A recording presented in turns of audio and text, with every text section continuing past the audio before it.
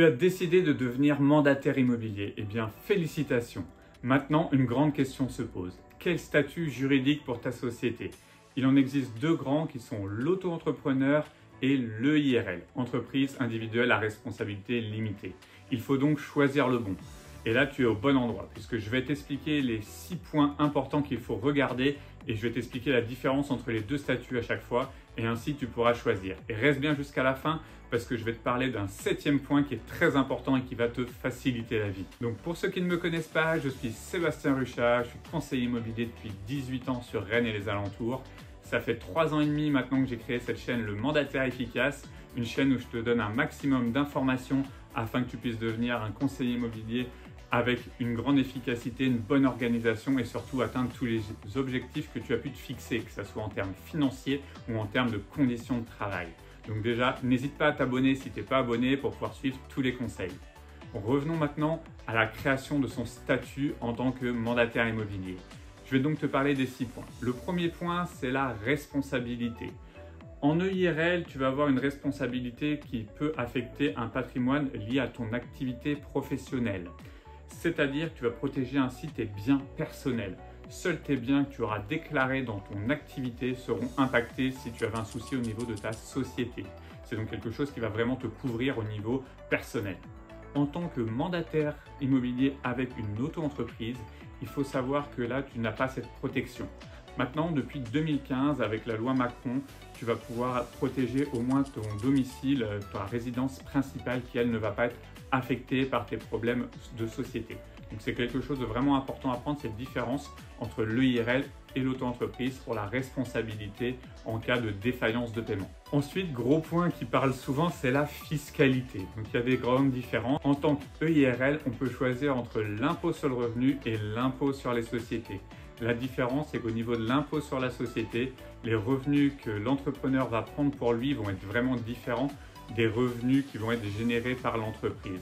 On pourra donc avoir une différence et laisser de l'argent sur la société pour avoir une trésorerie et celle-ci ne sera imposée que sur l'impôt sur les sociétés et non sur votre impôt sur le revenu.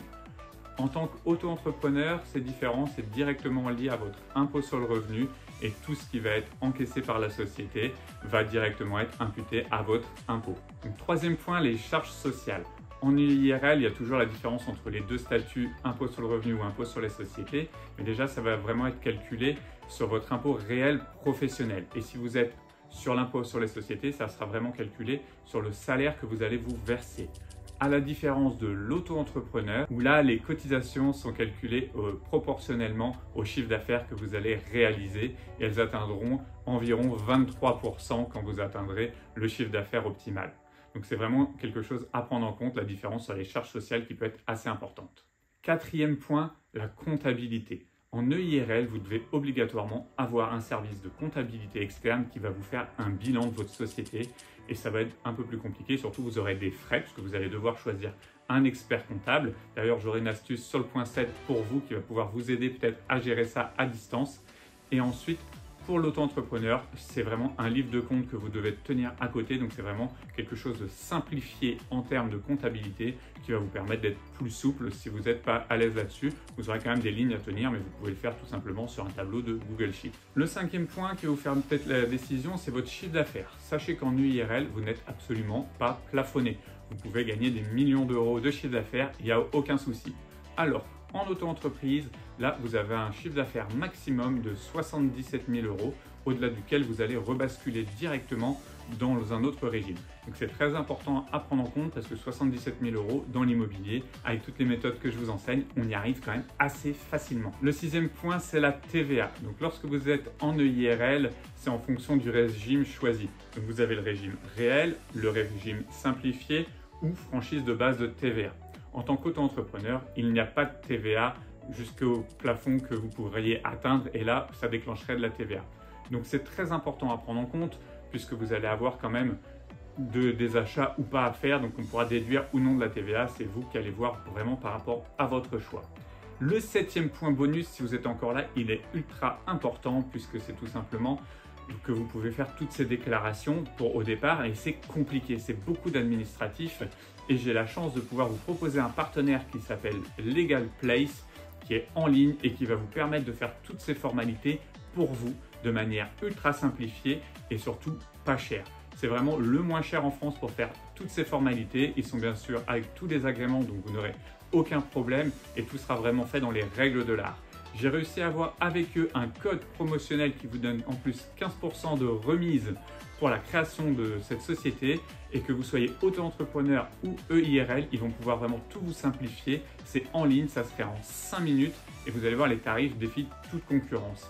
Le code c'est LME15 et il vous permettra d'avoir 15% de remise. C'est un lien d'affiliation que vous allez trouver directement dans la description. C'est le premier lien. Vous irez sur leur site et vous aurez accès à toutes les informations.